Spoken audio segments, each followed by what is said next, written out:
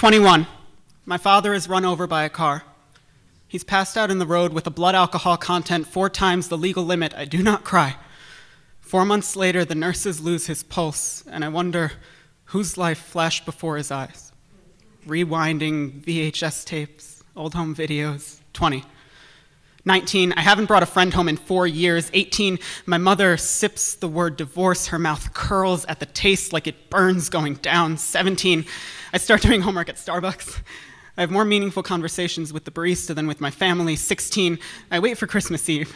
My brother and I usually exchange gifts to one another early. This year, he and my father exchange blows. My mother doesn't go to Mass. 15, I come up with the theory that my father started drinking again because maybe he found out I'm gay. Like, if he could make everything else blurry, maybe somehow I'd look straight 15.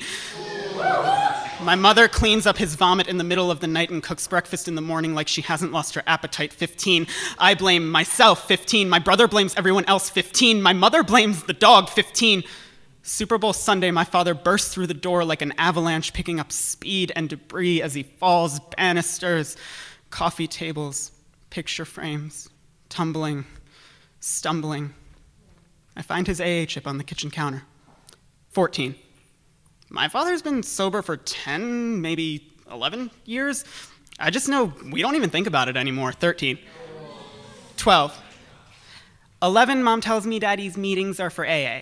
She asks if I know what that means. I don't. I nod anyway. 10.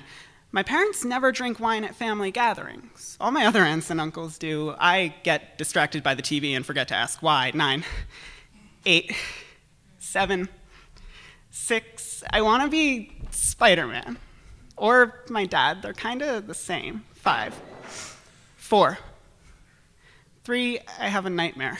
The recurring one about Ursula from The Little Mermaid. So I get up. I waddle toward mommy and daddy's room, blankie in hand. I pause. Daddy's standing in his underwear, silhouetted by a refrigerator light. He raises a bottle to his lips. Two. One. Zero. When my mother was pregnant with me, I wonder if she hoped, as so many mothers do, that her baby boy would grow up to be just like his father.